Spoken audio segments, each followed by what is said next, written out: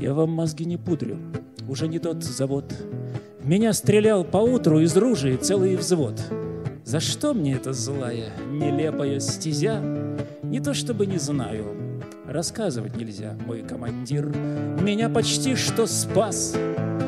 Но кто-то на расстреле настоял, И взвод отлично выполнил приказ. Но был один, который не стрелял. Судьба моя лихая, давно наперекос. Однажды языка я добыл, да не донес. И особист Суэтин, неутомимый наш, еще тогда приметил и взял на карандаш. Он выволок на свет и приволок. Подколотый, подшитый материал Никто поделать ничего не смог. Нет, смог один, который не стрелял.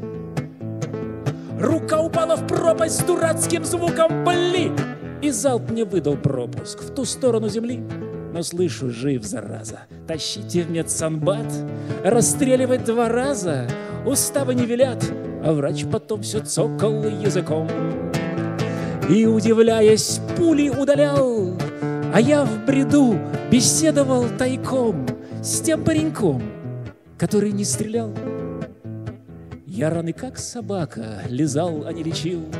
В госпиталях, однако, в большом почете был. Ходил в меня влюбленный, весь слабый женский пол.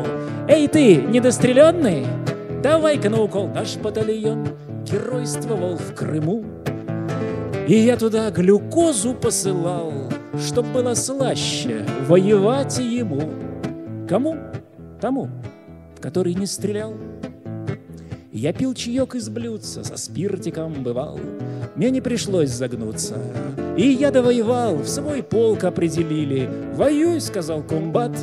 А что не дострелили, так это дострелят. Я очень рад был, но присев у пня, я выл белугой и судьбину клял. Немецкий снайпер дострелил меня, убив того, который не стрелял.